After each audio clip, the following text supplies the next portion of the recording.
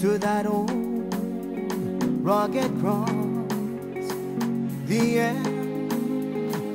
of suffering and shame. And I love that old cross where the day rest and best for a world of lost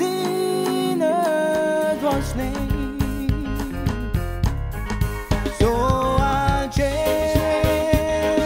the old till my trophies at last